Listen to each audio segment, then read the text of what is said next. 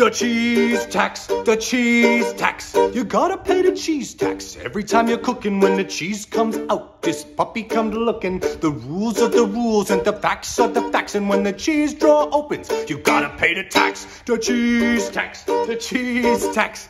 Hand it over quick, things might get ugly. I can get really loud. I'm a really barky puppy. I'm not just asking cause I'm looking for snacks. This is real important business and you gotta pay the tax. The cheese tax, the cheese tax, the cheese tax. Cheddar is acceptable and Parmesan is fine, but a little bit of Gouda would really blow my mind. There's no escaping, so don't try to dodge. Pay the dairy tariff, the collection of fromage, the cheese tax, the cheese tax, the cheese tax. Cheese.